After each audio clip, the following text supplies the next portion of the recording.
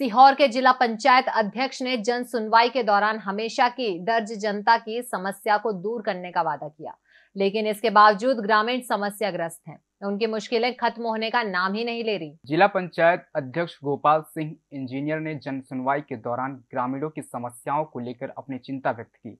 उन्होंने ग्रामीणों की हर समस्याओं को दूर करने का वादा किया और प्रदेश सरकार की योजनाओं से ग्रामीणों को अवगत कराया। इसके साथ ही जिला पंचायत अध्यक्ष ने महिलाओं की लाडली बहना योजना के अंतर्गत आने वाली समस्याओं को लेकर भी चर्चा की।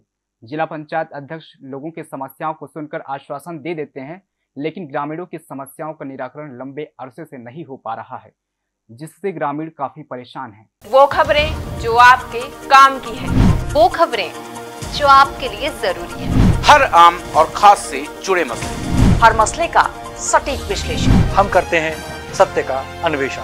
दखल न्यूज़। आपके हक में।